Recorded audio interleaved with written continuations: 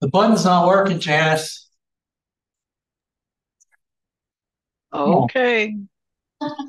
Uh, call you on lock. It is not. I know, I don't care. I, Holman taught me that. I am here to entertain myself. I don't care if you think it's funny or not. I, if I enjoy it, it's okay. You taught me a lot of other really cool things too. Um, welcome to our program for today. And again, I will make you a, a handmade something fantastic if you can come up with a better uh, title than one small thing because it gets awkward. Hmm. Yeah. Oh, okay. All right. So yeah, if you're a professional, you don't have to worry about that. So uh, today we have three panelists. We have Jason Berntsen from uh, philosophy. We have Danielle from history and Robin from English. And they're just going to talk about one thing that they've done in their classroom that's that's been successful. Come on in. Oh, the it's in the cat area. Like the, yeah. Um, so this has been successful in the past. We've had I've learned a lot, and so I'm excited to learn today. And because my colleague Jason is not feeling really well, I'm going to let you go first, and you can talk about your um, activity. Okay, you bet. Uh, hi, everyone.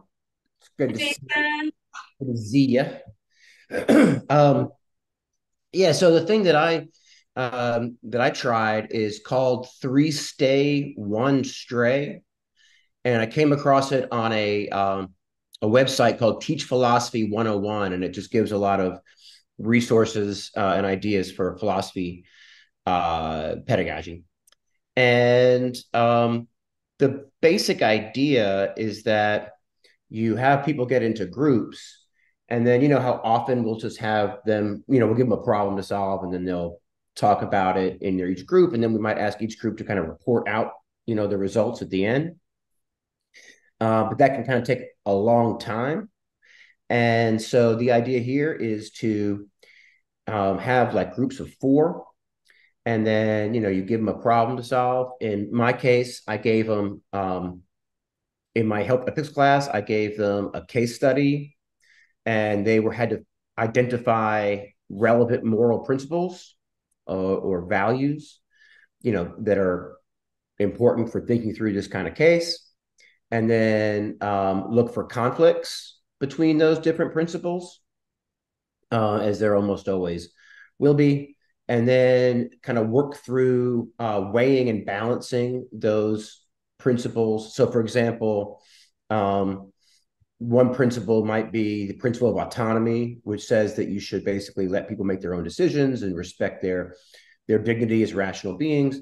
And that might get into conflict with the principle of beneficence, which says that you should help others because there might be some kind of case where by infringing on someone's autonomy, you might actually benefit them. Right. So that's called paternalism. So it, it, when is that when is, is that justified? That just that kind of thing.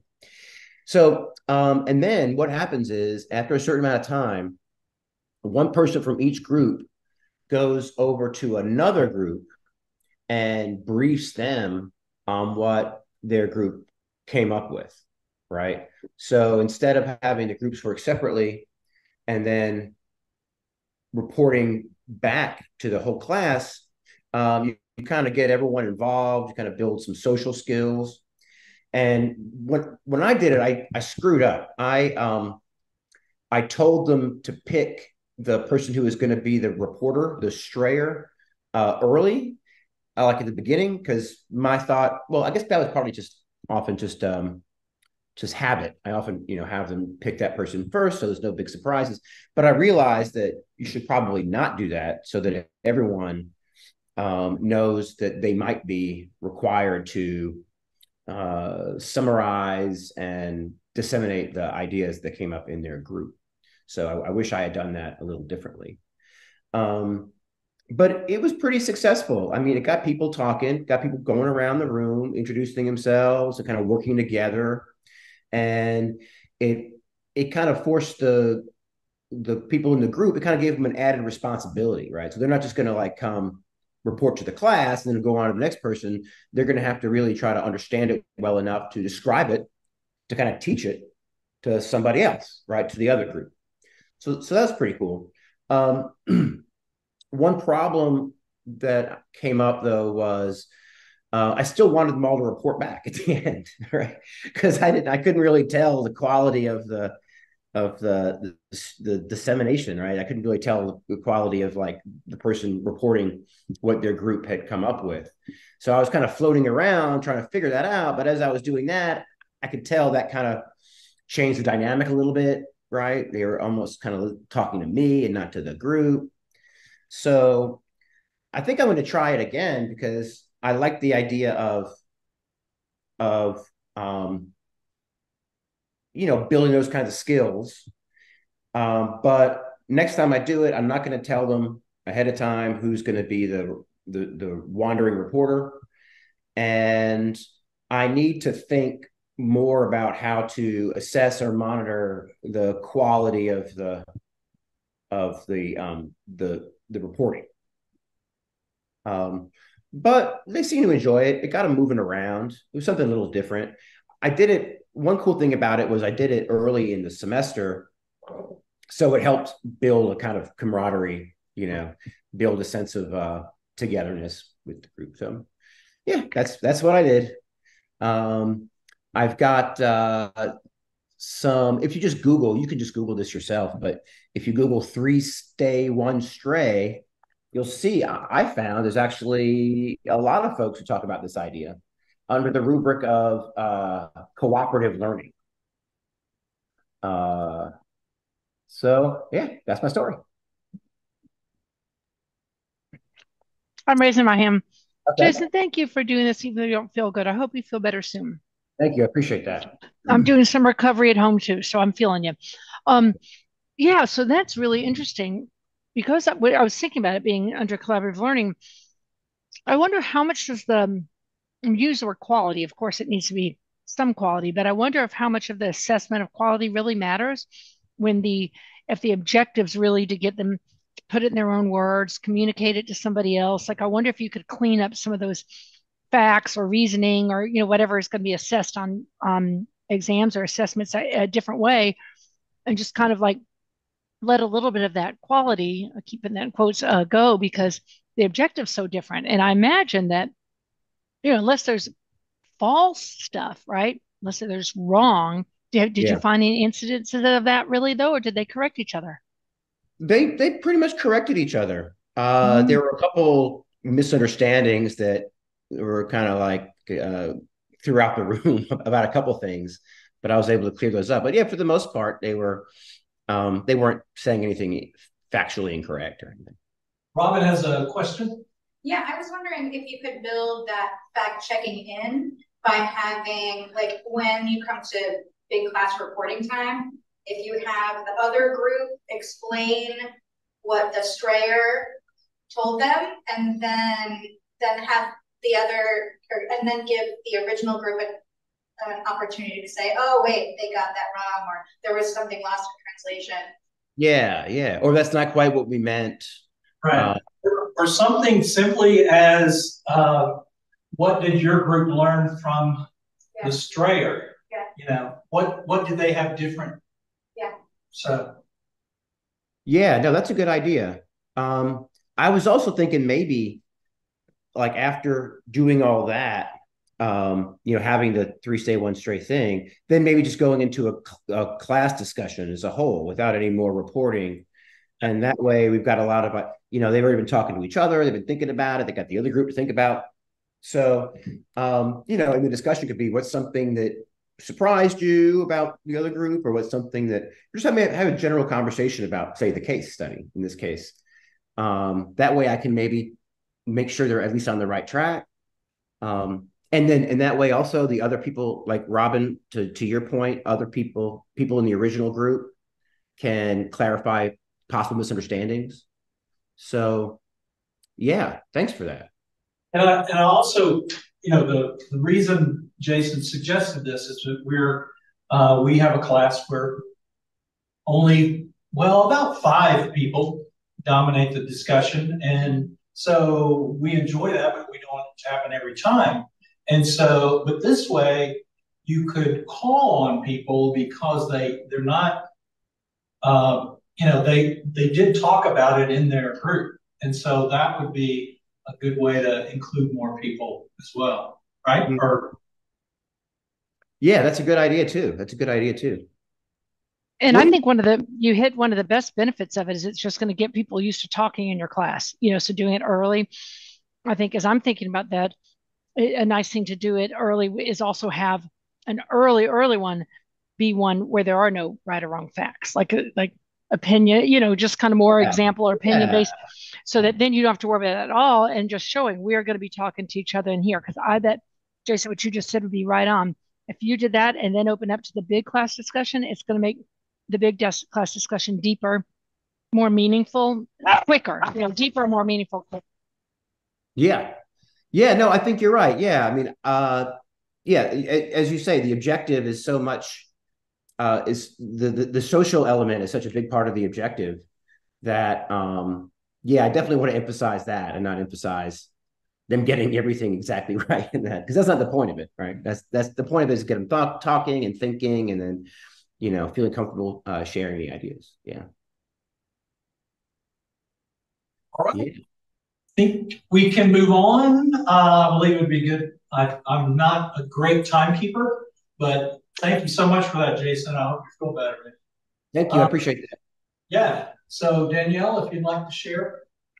For Forgive the papers. I am not great at extemporaneous speaking, so this is how I stay on time. So my one little thing, it works for me. Um, it was the yellow pages. And this is an activity that I do to my students before introducing assignment instructions. This was actually born out of a failed online annotation exercise. Um, this activity helps channel our students' fears or frustrations about assignments productively and it ensures that they can engage with the directions when we do finally distribute and discuss So my problem, the, this is the problem that this little thing is designed to allay. It's the problem of the what I call the panic popcorn because I teach a lot of introductory level courses um, with non-majors. So here's the problem. When I mention tasks or quizzes, presentations related to my history courses. The energy shifts in very unsettling ways, and I think we've all seen this for students engaged in that fight, flight, freeze, or fawn response. Um, as panic settles across the classrooms, we can see students disappearing into their phones, or the panicked questions start screaming across the room, and then there's a sense of uh, disarray as that panic spreads. So I found that it was um, very common in those intro level classes, and whether it manifests as this disturbing quiet or as this frenzy of questions. Um, it undermined, I found, any meaningful engagement with the assignment instructions because you would pass out the instructions and the students are like, no, or they're, I don't have any questions. So they couldn't engage with the directions no matter how well organized or phrased they were in my 1000 level classes. So here's how the yellow pages works to fix that. Um, first of all, why is it called the yellow pages? It was the color of the note cards in my desk. The day that I like panically put this together after my initial exercise of having students annotate the instructions failed. So uh, here are the steps. I pass out a bunch of blank pages or note cards to the students at the start of class. I just mention the name of the assignment, test one, guys. And then I have students write down their assignment fears, their concerns, their questions, their preferences for the assessment. Um, from there, so they fill out their little sheet with all their fears. From there, I bring them into a small uh, think, pair, share, where they share those common fears, concerns, frustrations, and preferences. Then I hand out the instructions and encourage the students to actually use the yellow sheets to find the answers before we finally report out and have a large group discussion based on their yellow cards plus the instructions. So that's my one little thing. So feedback observationally, you're going to get pushback. You're going to get pushback generally in a 1,000 level class um, for a multitude of reasons. But my students were initially annoyed at this additional step to shut up, give us the assignment directions so that we can fold them up and put them in pad. Um, so the atmosphere, however, I noticed was calmer throughout the process because we were modeling healthier and more productive practices for dealing with the uncomfortable emotions of getting an assignment in a class that you're uncomfortable with to do something you don't want to do on a topic that you're not initially excited about.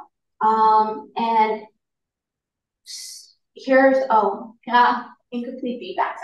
The other thing, um, I noticed that in my evals, my evals are slightly higher for communication and clarity of goals and com uh, communication of expectations and needs from students. So overall, my students feel as though they're getting more out of the instructions and that I'm doing a better job to describe assignments to them. And they also feel more engaged because as the semester goes on, they can make suggestions that I'll take into consideration. So, hey, doc, does it need to be all of these questions or can it just be half? And actually listening and engaging with student questions um, and suggestions on how to improve these. So, three quick tips. Because I already failed the semester implementing this. Now, use physical note cards over just the think, pair, share. Um, there is a power of physically manifesting those feelings on a sheet of paper and then use seeing questions that are now answerable from those fears and frustrations. And then in line with CAT-FD's larger principles of backwards design, um, you can also and should also use this as a way of affirming your course outcomes. Um, so as you're going through and students are asking questions, why are we doing it this way? Why does it have to be this number of pages? Why this number of words? You can use it as an opportunity to say, oh, course outcome number four, we're focusing on primary sources for this reason and that reason. Um, and then finally, um, I use a tip is to also use this activity to highlight the logic of your instructions. Because in each and every one of our classes, we have our own logic for putting together our directions, and students quickly get overwhelmed by that. Um, so using it as an opportunity to say, this is why I'm thinking about doing A, B, and C, um, and encouraging them to say, hey, this is organized into purpose, task, and assessment. How about you use that organization to find your answers faster rather than slower? So overall, it has been successful. I continue to tweak, like to change it up and make small modifications, but um, it has been relatively successful. Um, and just a general sense of students feeling one, more empowered by the end of the semester. Two, I don't get those last minute questions. Y'all know those last minute questions. Email to you at 9.59 when the assignment's due at 10.01. You know, teach. So it helps with that. And then by the end of the semester, students feel far more comfortable um, asking questions of me, the material, and the assessments themselves, how they connect back to the learner. So those are my points. If y'all have any questions. Um, I, I think what I, what I uh, get from um, your presentation is, and I think it's that students will get it, is that you care about them and their anxiety, and you want them to be able to share that. And starting off the semester that way is is really good. It's really I, I I'm going to do that. Uh, it sounds really Thank you. Um, it does, I do try to validate their feelings by reminding them that history is cheese covered broccoli. So we all have to eat it. we could sprinkle a little cheese on it, help it go down a little bit easier. But at the end of the day, if there's too much broccoli, no one is going to eat it. And if there's too much cheese, um, what's the point of it? It mm. kind of just loses its value. So I try to validate their feelings, remind them that it's difficult to together to eat. I like that you, if I can say something too, I like that you that you're doing this in a really methodical way and that you're connecting it to the course goals, etc. Because um, I I often, well, I shouldn't say often, I sometimes will hand out um, index cards to students and just have them write down whatever questions they have because the there is that that that moment that frozen moment when I ask the students, okay, what questions do you have? No one has a single question. And so then I rephrase the question. Okay, do I need to clarify this? Or is there anything I need to repeat? Um, if you look at your notes for the very few students who take notes, uh, apparently, you know, is there anything incomplete that I can finish? Silence. So then I hand out the cards and then the cards come back with questions. So there is that factor of I don't want to be embarrassed. I don't want to sound stupid. Um, and I, I, I, of all of my classes, at least this semester, I only really have one where students are really verbally engaged. And all the other ones, they're happy to write things down, but they don't really want to talk very much. And so I, I appreciate that you're doing this in a in a much more methodical way than I than I am. So thank you for that. Yeah, hey Wendy, can I can I uh, share something that's kind of along those lines? When I've gotten that with the students, and again, I tried you it early on for exactly back to Jason's about trying to get them used to being really chatty earlier. I want that kind of you know interactive class. Um, when I get no questions, I do a think pair share right then, and I just say, okay, every, turn to your partner, turn to people around you, groups two, three, and everybody come up with, you know, try to come up with a question. And man, yeah. all of a sudden, when they validate each other's questions, then they, you know, they, it's a flood of questions like you're with your cards. So I haven't done that with cards, but I've done that with Think, Pair, Share a lot. So yes, so Danielle, thank you. Robin had. Oh, I was going to say, I think this is a really great idea, especially for um, larger long term assi uh, assignments. Like I'm thinking about research papers.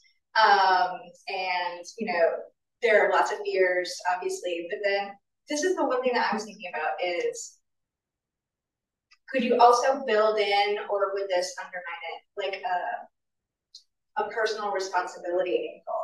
Like part of this is you showing them that you've thought about most of the questions um, that they have and, and they can find the answers in the document. So part of it, but um, yeah, I'm just trying to think about like, because sometimes their fears are less about the assignment than about their ability to get it done.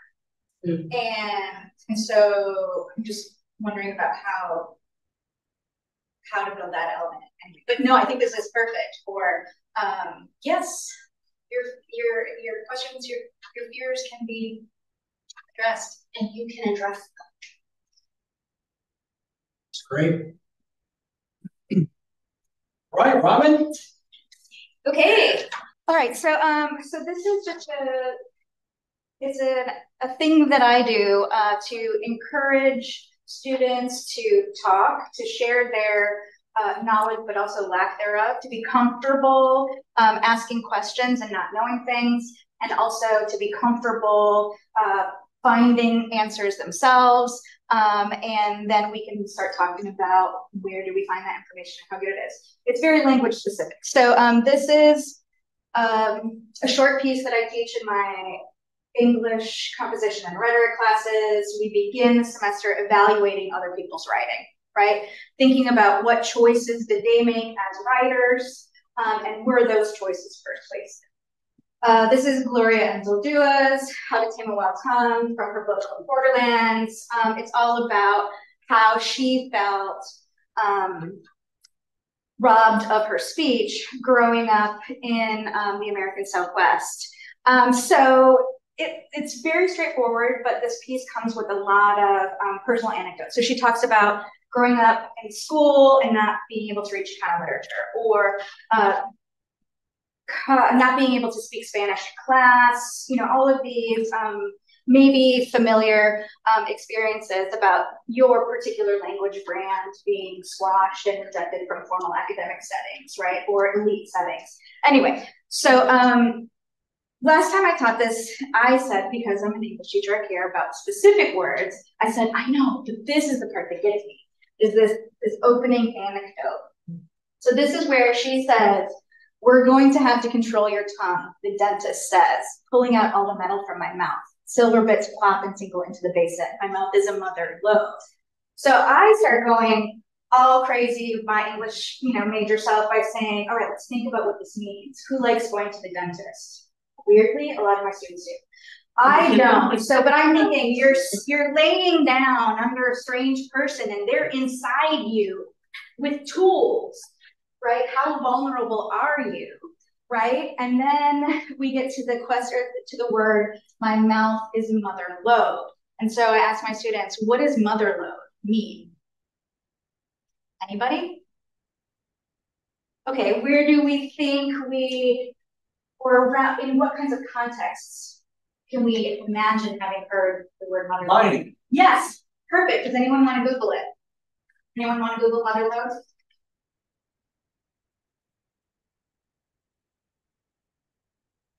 So it takes a minute. Mother lode is like the the the the mind that's got all the stuff. It's like the mother lode, like this is what we've been waiting for. It's everything. Isn't that? Sure. It's right. the treasure. And Dana, you want to read the first sentence comes up? A principal vein or an or or mineral.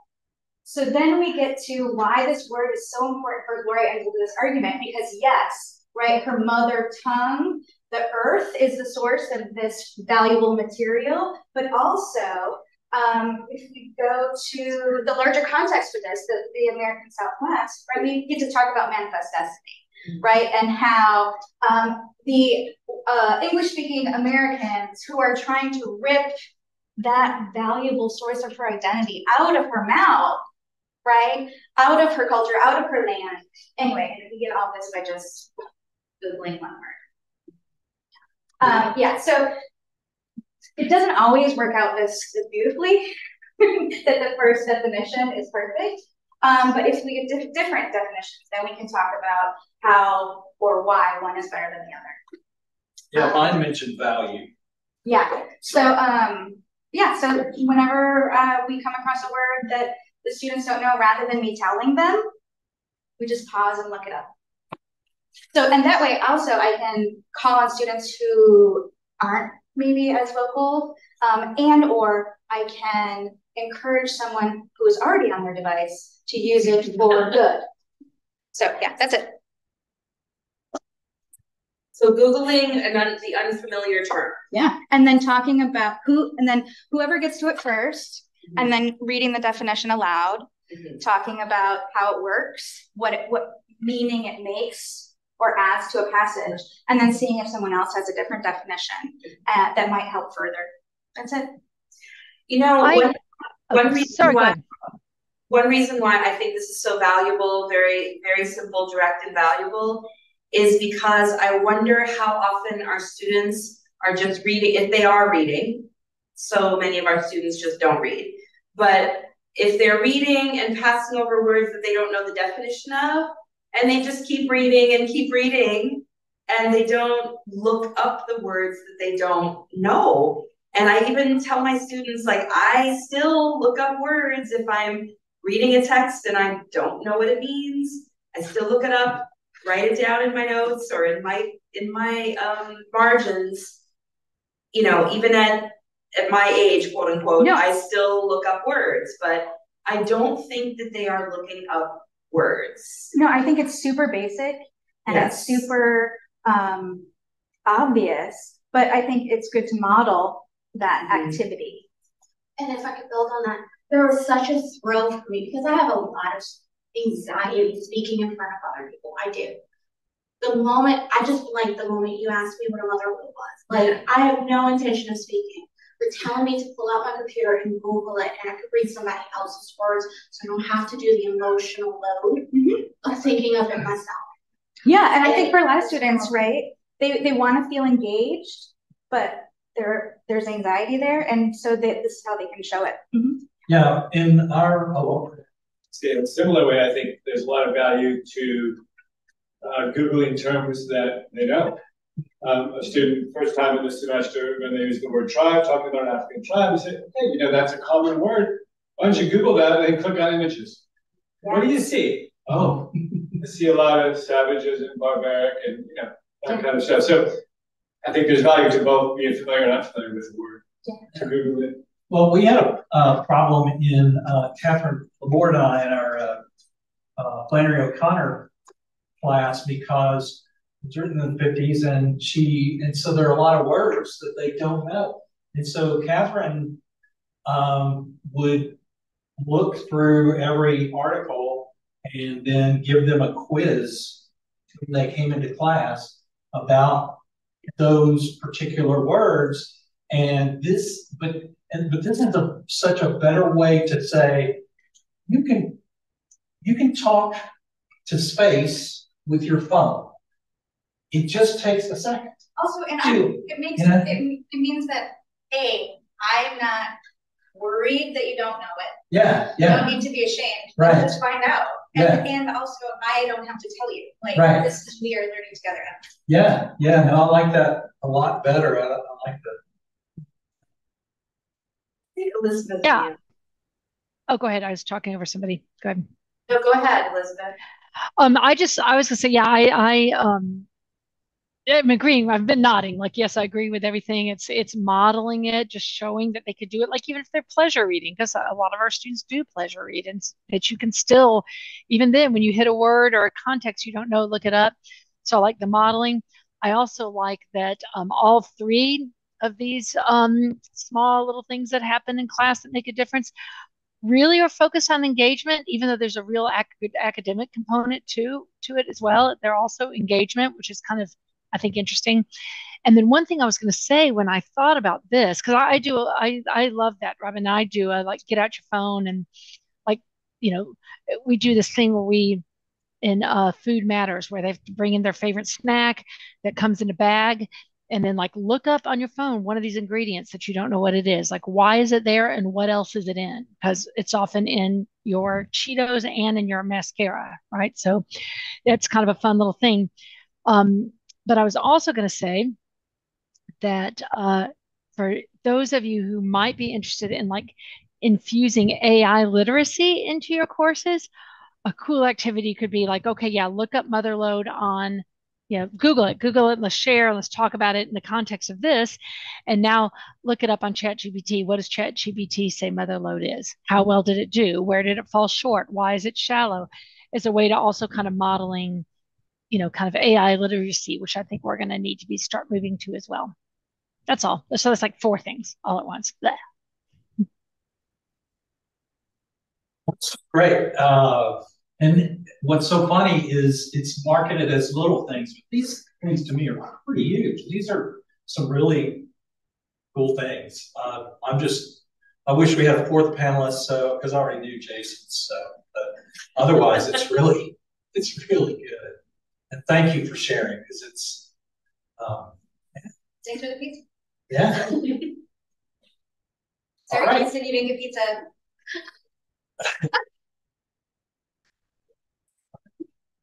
thanks for coming, everybody. And Helene, thanks for joining us online.